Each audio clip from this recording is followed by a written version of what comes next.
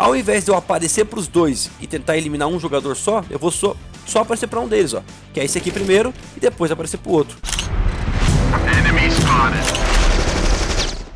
Fala galera, beleza? Falenzão aqui para mais um vídeo do Dicas do Fallen aqui no canal da eSport TV e hoje eu vou passar uma dica para vocês muito bacana a respeito de uma técnica no CS que se chama Strafe, que consiste em você conseguir obter informação sobre o que está à sua frente, né, num lugar novo, no local que você está entrando, ou de algum adversário que você imagina onde ele possa estar, sem você se comprometer a essa briga de imediato.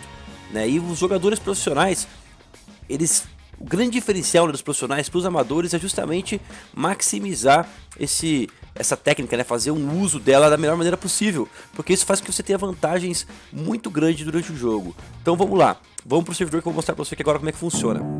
Imagina o seguinte cenário, galera, você está prestes a entrar num local novo, você está, por exemplo, aqui na cache, né, no galpão que nós estamos, você está prestes a começar a entrar no site A, e você sabe que existem algumas posições aqui nesse mapa que os jogadores costumam ficar. Por exemplo, deixei algumas aqui ó, com alguns bots. Essa daqui, que a gente chama de Bialy, esse cantinho aqui, o jogador polonês. Essa daqui, o escanteio, que às vezes tem um jogador aqui marcando. E deixei uma outra posição aqui que é bastante comum também, que é a posição da pilha. Tá? Então, como é que você faz para você meio que descobrir se esses caras estão lá ou não, sem dar a chance dele te matar, ou minimizando né, as chances dele te matar? Como é que você faria isso? Quando você está entrando, você vai usar o seu teclado e você vai fazer o seguinte, você vai bater uma foto daquele local que você acha que o cara tá, mas ao mesmo tempo já vai se esconder rapidinho. Então com o meu teclado aqui, ó, vou apertar o D e o A rapidinho, ó. DA e já volto. Então meio que dou um ombrinho pro cara e retorno para minha posição. Eu faço isso para obter um pouquinho de informação e para eu fazer com que o meu adversário esboce uma reação. O que, que os caras costumam fazer quando acontece isso? Pressionam o tiro, pressionam o disparo do AWP, Muitas vezes eles começam a atirar de rifle e você pode, logo depois que ele começar a atirar, voltar e eliminar esse jogador. Então você faz com que esse cara se desespere, você faz com que ele se assuste, porque você pegou a informação sem ir para a briga direto. Tá? Isso tem uma grande importância no jogo. Então, aqui por exemplo, ó, como é que eu faria? Tô entrando aqui no galpão, ó. Primeiro eu vou dar um strafe ali no bialho, né? Essa técnica chama strafe. Vou escrever aqui no CS para você ver. É, dá um, um strafe, prossegue para matar o adversário caso tenha visto ele. Bom, não achei ninguém aqui, falha. Imagina que aquele cara não tá ali. Vai pro próximo, ó. Você vai andando, dando passinhos, batendo foto e voltando, batendo foto e voltando. Tá? Dessa maneira você tem a chance de eliminar um jogador que você avistar. Tá? E você pode ir fazendo isso para todas as posições. Ó. É lógico que a sua movimentação é um pouco mais devagar desse jeito, mas você tenha a condição de eliminar os seus adversários de uma maneira mais fácil né, deixando mais difícil para o seu, seu, adversário te eliminar. Tá? Então essa técnica do strafe é muito importante. Outra, outro momento que a gente usa o strafe, cara, é quando a gente está, por exemplo, querendo ir para uma posição nova.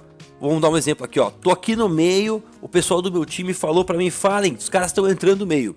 Bom, quando os caras estão entrando no meio, galera, imagina que eles podem fazer várias coisas. Eles podem vir para a esquerda, eles podem passar aqui para trás do duto, eles podem ficar aqui no meio mesmo marcando alguma coisa, eles podem vir para a direita. Então se você é o CT que está aqui você quer vir ajudar, como é que você faz?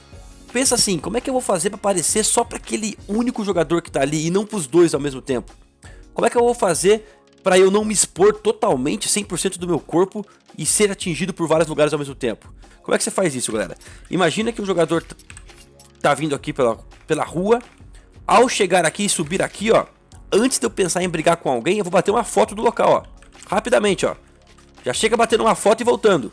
Então, quando eu bato essa foto aqui, ela me dá algumas informações. Vamos dar um exemplo. Vamos supor que tivesse um jogador aqui e um outro jogador aqui.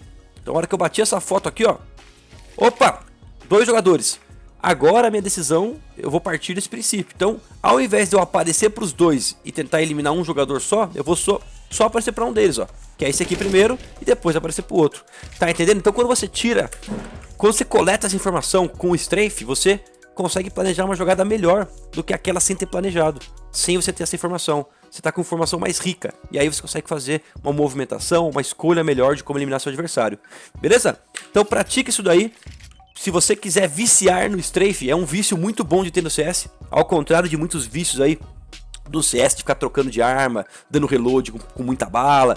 O strafe sempre é bom.